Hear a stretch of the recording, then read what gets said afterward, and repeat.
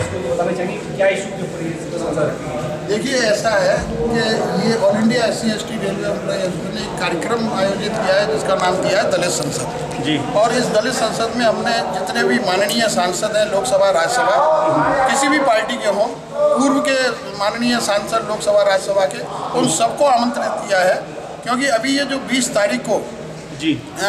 Sir, माननीय सर्वोच्च न्यायालय के दो दो जजों ने अनुसूचित जाति, जनजाति अत्याचार निवारण कानून 1989 में जो अपनी व्याख्या दी है, उस व्याख्या से पूरे देश के दलित लोग विचलित हैं, बहुत भयभीत हैं और बहुत प्रताड़ित हैं। उसको लेकर के दो तारीख को भारत बंद भी रहा, जो पूर्ण रूप से सफल, बंद रहा जो पहली बार ऐसा हुआ है कि न कोई नेता था न कोई पार्टी थी न कोई संगठन था न कोई झंडा था और सारे लोग समाज के लोग एकत्रित होकर सड़कों पर उतरे और अपने उन्होंने उन लोगों ने अपनी जो पीड़ा है वो सरकार को बताने का प्रयास किया। इसी क्रम में हमने एक आयोजन ये किया था कि हम एक दलित संसद को बुलाएँ जिसमें अपने सारे सांसदों को आमंत्रित करेंगे। जी। और उनको आमंत्रित करके हम ये बताएँ कि आज की जो वर्तमान परिस्थिति है, जो अत्याचार, अनुसूचित जाति, जनजाति अत्याचार निवारण कानून में जो बदलाव किया गया है, इससे जो अनुसूचित जाति, जनजाति के लोग हैं, वो बहुत प्रताड़ित हैं, वो बहुत भयभीत हैं, बहुत परेशान है कि सरकार हमारे मतलब जो कानून में जो है रद्दबदल करने का प्रयास कर रही है कोर्ट के माध्यम से।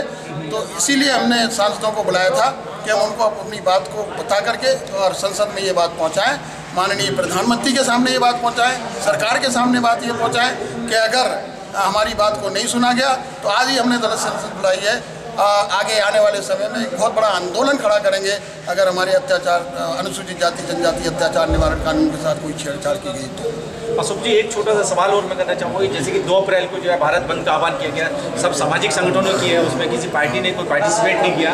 बट उसके बाद में जो है केंद्र सरकार की तरफ़ से एक आदेश या नोटिस तमाम सरकारों को जारी किया गया हर स्टेट को कि जितने भी अम्बेडकरवादी लोग हैं उनको चाहे घर से उठाया जाए या उनको कैसे भी उनको पकड़ा जाए तो जो धरपकड़ चल रही है उनको किसी के बीवी बच्चों को भी परेशान किया जा रहा है, रात को घरों से उठाया जा रहा है। इस विषय में गृह मंत्री के लिए क्या कहना चाहेंगे? देखिए, मैं माननीय गृह मंत्री जी को ये अनुरोध करना चाहूँगा कि जो दो तारीख का भारत बंद था वो बहुत ही शांतिपूर्वक बंद था और जितने भी संगठनों ने आह्वान किया जितने संगठनों ने समर्थन दिया कि हम भारत बंद का समर्थन करते हैं उस किसी भी संगठन ने हिंसा को समर्थन देने की बात नहीं कही थी। सभी ने एक स्वर से सोशल मीडिया पर यह कहा था कि भाई कोई भी ऐसी हिंसा के शिकार मत हो जाना आप। किसी भी हिंसा में शामिल मत होना जिससे कि राष्ट्र की संपत्ति को नुकसान हो। और ये दलित समाज के लोग हमेशा ही राष्ट्र की संपत्ति को नुकसान होने से बचाया है। हमने कभी भी हिंसा का सहारा नहीं लिया। हम कभी भी हिंसा करते नहीं है। ये किन लोगों ने की है? किसने नहीं की? इसकी जाँच होनी चाहिए। माननीय गृह मंत्री इसकी जाँच कराएँ और जो जाँच में दोषी पाया जाए उनको सजा दी जाए वास्तव में। लेकिन निर्दोष लोगों को घरों से निकाल निकाल करके जो दलित लोगों को महिलाओं को हमारे बच्चों को हमारे युवाओं को जो लेकर के पीटा जा रहा है मारा जा रहा है थानों में बंद किया जा रहा है इसकी हम भर्सना करते हैं all India S C railway employee association. और ये हमने मेमोरेंडम के माध्यम से मांग भी की है कि जिन लोगों को इस तरीके से प्रताड़ित किया जा रहा है, वो बंद होना चाहिए।